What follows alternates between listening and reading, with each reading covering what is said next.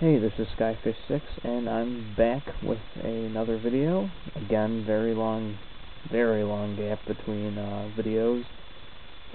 Uh, but I figured since I just picked this up the other day, and, um,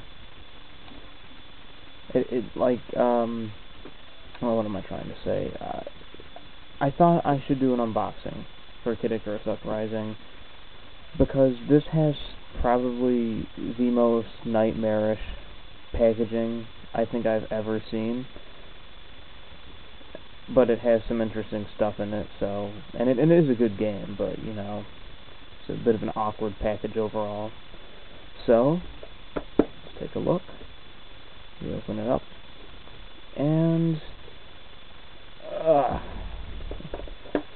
the actual Kid Icarus Uprising game which is a very good game. The controls are incredibly awkward, but it is once you get used to them, it's a really fun game. And uh, as you can see, like in the little gaps in the casing, there are like expressions from like Pit, and the other side has uh, Palutena, I think. And it comes with like this little starter pack for those AR cards that Nintendo's going to be making for Kid Icarus Uprising haven't opened it just really because I don't buy into the whole AR card fad. The instruction booklet, of course. An instruction booklet for the 3DS stand, which I will be getting to in a moment.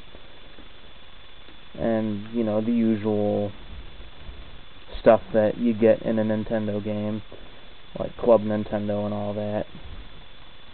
Uh, yeah, you get it there's a bunch of different pictures of Palutena on this side, as well as some other characters like Medusa, the multiplayer characters, and uh, Magnus.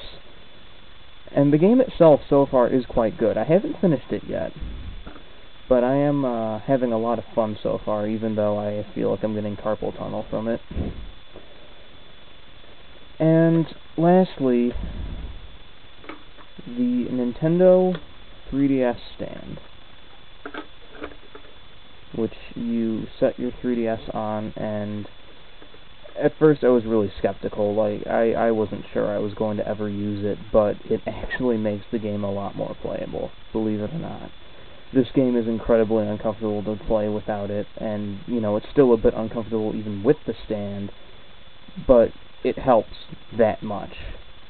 Um, yeah, like, I picked this up because Best Buy, for whatever reason, was selling it for, like, a reduced price. And and I'm having fun with it. You know, the stand I was surprised by how well it works. Uh, sort of defeats the whole portableness of the 3DS, but oh well. Um, all in all, very pleasant surprise. Uh, kind of a short unboxing, but I just felt I should do it because uh, I was just reminded by like the the Dead Space 2 Collector's Edition just because of how horrifically excessive the packaging is.